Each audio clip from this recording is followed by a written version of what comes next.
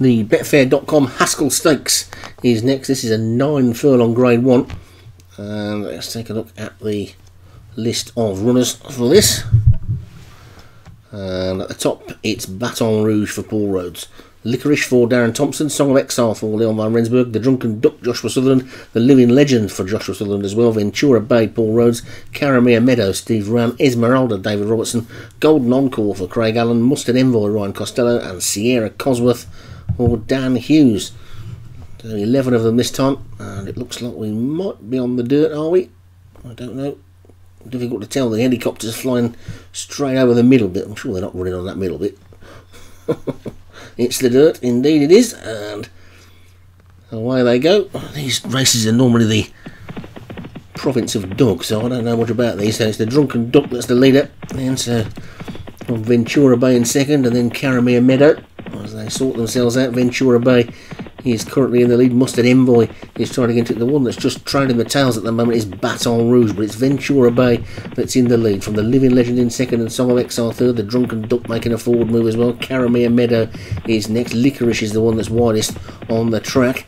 Uh, they've still got a big turn to go around as well. So Ventura Bay is in the lead then from Living Legend in second, Song of Exile third, Licorice Wide on the track is fourth, Caramere Meadow on that one's inside, Mustard Envoy tracking them, Golden Encore is right over on the far side. Esmeralda's got the rails, going to need a lucky split.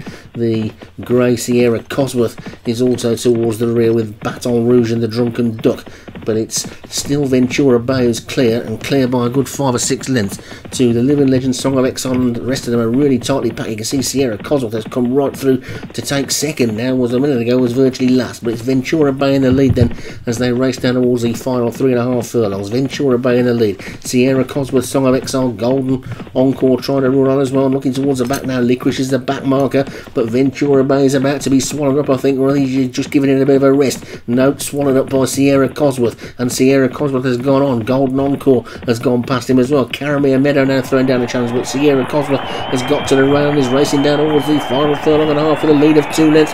Golden Encore is next. Ventura Bay's trying to battle on, but he's now trapped on the inside. Nothing seems to be getting to this. Sierra Cosworth at the moment. Sierra Cosworth is still in front, but now Golden Encore strikes. Here comes Caramere Meadow finishing really fast on the outside. Is Baton Rouge. Golden Encore. Baton Rouge is coming. Baton Rouge is beginning to get up on the outside, and Baton Rouge takes it. Golden Encore is second. Caramere Meadow third. Then the Drunken Duck after that one. Mustard Envoy was the last one to finish, and Baton Rouge came round the outside of them and made the race his own inside the final half furlong. Golden Encore second, Caramere Meadow third. So Baton Rouge takes it for the Professor Paul Rhodes. Golden Encore for Craig Allen second.